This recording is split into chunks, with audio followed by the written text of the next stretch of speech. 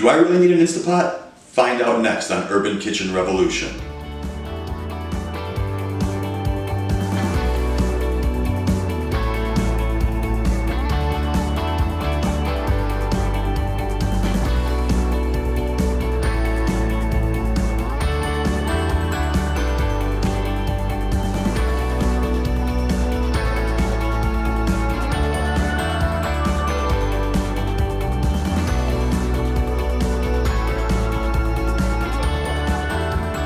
Hi, and welcome back to Urban Kitchen Revolution. I'm Chef James Hudson. Welcome, as promised, to my home kitchen here in downtown Washington, D.C. Today I want to take the opportunity to talk about the minimum, uh, the minimum equipment that one needs to set up just your average home kitchen. Uh, we'll also touch on smallwares, minimum bakeware, and, uh, and then in episode three, talk about knives and uh, knife care and why my knives rock and your knives suck. And pans. What's important in a pot and pan? Well, what's important to me in a pot and pan, first and foremost, is that it's heavy. That it has a heavy bottom and that it conducts heat well. That's especially important in a kitchen such as this where, and in most homes where you have either electric or a really, really bad gas stove. The reason why a heavy bottom pot and pan is important is because it will take that uneven heat from your stove and create a more even base so that your food cooks more evenly. Before you here are the my go-tos. Easily 90 to 95% of what I cook at home happens in these pots and pans. So what are they? We'll start with the big ones first. It's right here uh, pasta pot.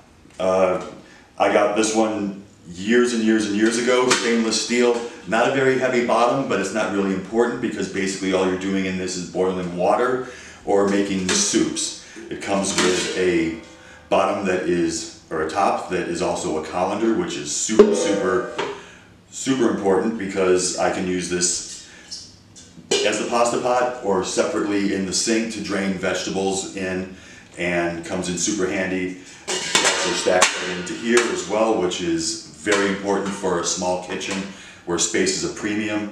And of course, because I bought these two as a set, the lid fits for either one of them. You can find a setup like this. It is really, really space saving and really, really, really important. The next one. This is called a Dutch oven or uh, you could also call this in French a rondeau. Uh, this has a very, very heavy, thick bottom that is sandwiched, this particular one is sandwiched with stainless steel and copper, which also really, really helps disperse the, uh, the heat really well. Saute pans, I really only have three that I use on a day-to-day -day basis. A nice small one, uh, again, with a thick bottom to create more even heat.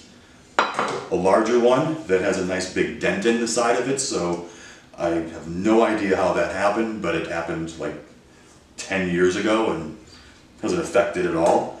Also with a sandwich bottom to help conduct heat more evenly. And then finally, finally my one and only non-stick pan, omelet pan. Uh, as you can see, not a big believer in non-stick. They uh, tend to flake, and as soon as they flake, they're no longer any good. They're not only as far as non their non-stick properties, but they also may or may not cause health issues. This is my egg pan. This is the only thing that goes in this is eggs for omelets or my uh, favorite sunny side ups for a Sunday morning breakfast. Finally, cast iron. These cast iron pans have been with me for about 25 years. Uh, we will, at a later date, possibly have a sideshow just directly on the care of uh, cast iron pans. But right now, we'll just talk about why I think they're so important. They, they talk to everything I just talked about. They are heavy. They conduct heat really, really well. They, Actually, they don't conduct heat so well as they keep the heat even throughout the pan. They're extremely functional. You can, they're of course oven safe, which is very, very crucial because a lot of cooking that we're going to be doing will involve searing and then putting down in the oven to finish. So uh, this big bad boy right here uh, is an old Lodge pan. There's, they still make pans available. They do come pre-seasoned. Uh, this one, like I said, it's got about 20 years of life in it and has no signs whatsoever of going away anytime soon. All right, let's talk bakeware. Uh, bakeware for me, since I'm not a trained baker, but still like to do that every once in a while, is pretty minimal. Uh, again, this is the, the 85 to 90% of your needs scenario. And I've got it narrowed down to four things that you need. Nine inch pan, either round or square. I prefer the round because I like round cakes and you know, uh, wedges of brownies also really cool with ice cream. A loaf pan, just standard size bread loaf pan for your occasional breads. Uh, this is this comes in handy also for all sorts of mise en place, uh, chopped vegetables when you're getting ready to make a stew or whatnot. Very, very functional, also easy to put away. Cookie sheet, sheet pan. Always, always, always sheet pan. This one um, is also has a uh, coating on it. It's not necessarily non-stick, but it does have, but it does um, keep things off the pan really, really nicely. And finally, uh, the casserole dish. Uh, anyone from the Midwest is, like myself, is going to have tremendous amount of flashbacks from various uh, church gatherings and whatnot. This is, uh, I use this primarily for uh, lasagna when I make it. Uh, but again, if, uh, if you need to impress your Wisconsin boyfriend or girlfriend, this is what you make, this is what you make tater tot hot dish in. Let's move on to smallwares, shall we? All right, smallwares. So what do we got? Uh, let's start first with uh, measuring cups, uh, a set of measuring spoons, liquid and dry measuring cups. Uh, this one I particularly like because it is graduated in both grams and in imperial, uh, which comes in very handy for me personally. After those, mixing bowls, one or two. Uh, I prefer stainless steel.